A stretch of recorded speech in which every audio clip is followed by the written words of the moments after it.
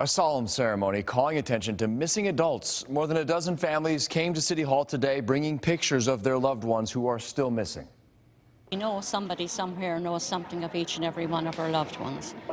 Action News Jax's Brittany Donovan shows us how this event brings the families both comfort and hope.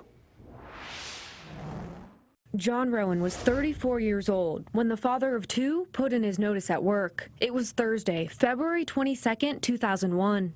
On Friday morning at 5.20 he went missing.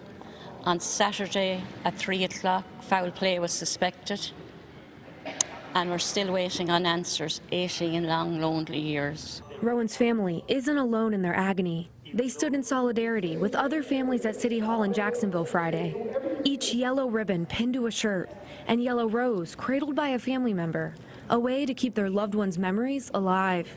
Each of these photos represents a loved one who disappeared from our area without a trace, leaving families searching for answers, sometimes for decades. Community leaders say the smallest piece of information could lead to a break in any of these cases. The families will soon get more help through a new cold case initiative at the state attorney's office. As for Peg Rowan, she says she lies awake each morning at 520, wondering what happened to her son.